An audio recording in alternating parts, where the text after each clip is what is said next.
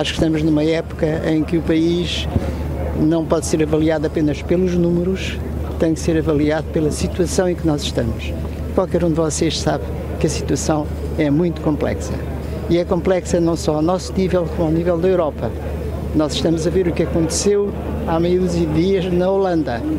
E, portanto, não podemos desprezar os sinais que nos são dados. E os sinais que nos são dados é que não estamos em tempos de radicalismos, mas estamos em tempos de moderação, porque é da moderação que pode vir a, a colaboração de todos e aquilo que é necessário para desenvolver este país. Nada é decisivo para o PSD, nem o PSD algum dia pode ser uh, eliminado ou melhorado, seja o que for. Tem a sua identidade própria, tem a sua história, tem o seu futuro e nunca poderá ser posto em causa apenas por uma eleição. O que vai acontecer, o resultado das eleições, é aquilo que os portugueses e os eleitores decidirem o futuro e a vida do PSD não se altera em, em, em resultado de umas únicas eleições.